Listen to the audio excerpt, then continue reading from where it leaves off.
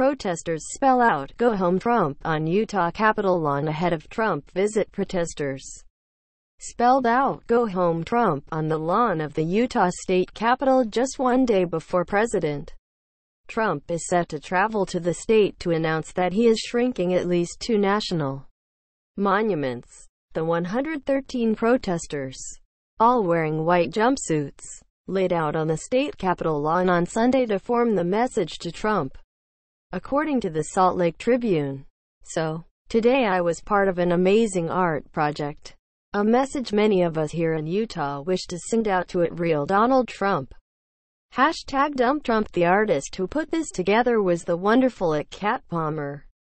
Hashtag Go Home Trumpic. Twitter. Com. Vipfovia Becca Kitty. At Becca Kitty 0217.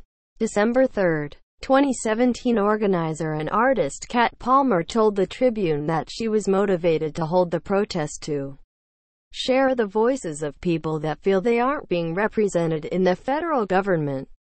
She'd that sen. Jim Dabakis, D. Utah, encouraged her to hold the protest. We don't have somebody representing our voices right now. Right. That's a problem. Sometimes when we feel helpless, we make art hoping our voices will be heard. Palmer told the Tribune, It's an outlet for people. It's therapeutic. Because we are feeling lost right now. Trump will visit Utah on Monday to detail plans to reduce the size of the Bears Ears and Grand Staircase Escalante National Monuments.